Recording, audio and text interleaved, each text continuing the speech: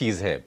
हमने देखा है कि इंटरेस्ट रेट्स स्पाइक अप हुए हैं हर जगह में, पूरे ग्लोबली ये कहने की प्रॉब्लम है ये। तो आप इसको किस तरह से देख रही हैं? हालाँकि कुछ हम देख, हमने कई सेगमेंट्स में देखा है कि कैपेक्स हुआ है, सरकार भी खर्च कर रही है। आज यूएस फेड की बैठक पर नज़र है, ब्याज दरों को लेकर वहाँ फैसला आ जाएगा और कम से कम वहाँ से एक दिशा का पता चलेगा कि कब तक वहाँ पर इंटरेस्ट रेट्स को लेकर टेंशन बनी रहेगी। आप इस पूरे सीनेरियो को देख कितनी रही हैं और ये बाज़ार के लिए कितना दर्द देने वाला है ये?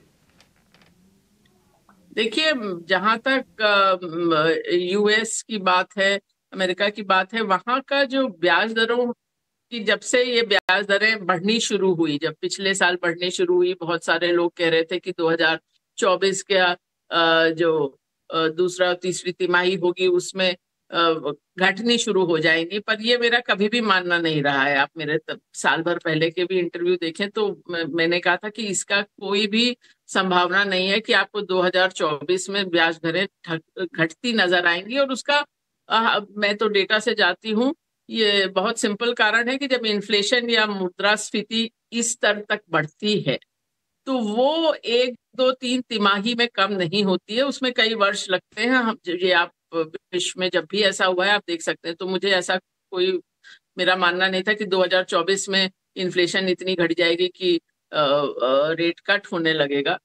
जो एक चीज़ अमेरिका में हुई है अर्थव्यवस्था में, मैं जो पिछले साल सोचा था कि शायद थोड़ा सा रिसेशन जैसा आए, लेकिन वो नहीं हो रहा है और शायद फेड के लिए ये चिंता का विषय होगा बिकॉज़ फेड चाहता था कि थोड़ा सा इकोनॉमी स्लो डाउन करे अर्थव्यवस्था स्लो डाउन करे और खास करके लेबर मार्केट स्लो डाउन करे वो वहाँ पर उतना हो नहीं पाया है। तो मुझे तो लगता है कि थोड़ा सा हॉकिश टिंट रहेगा फेड का आज कहने को कि अभी इन्फ्लेशन को पर ही हमारी नज़र रहेगी।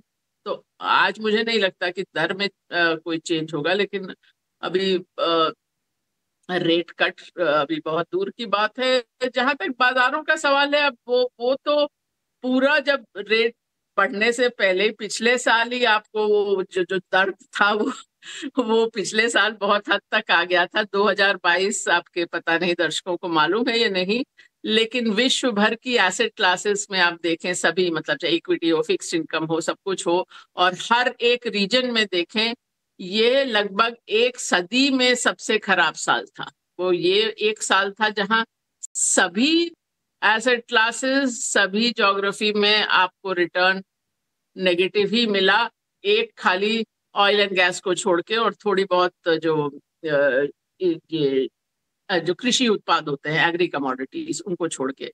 तो बाकी सब जगह तो पूरा ही पूरा विश्व ही एक खाली आपको लाल ही लाल नज़र आया, हरा कुछ भी नज़र नहीं आया 2022 में।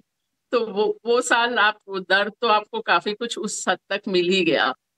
अब इस साल ऑफ़ कोर्स जितना रिकवरी हुआ है अमेरिका में, वो बहुत ही नैरो रहा है मतलब छह सात स्टॉक ने ही एक तरह से पूरी बाज़ार को चलाया है। तो वो थोड़ा सा चिंता का विषय है, पर अभी इतना कुछ खराब तो नहीं लग रहा है। जी।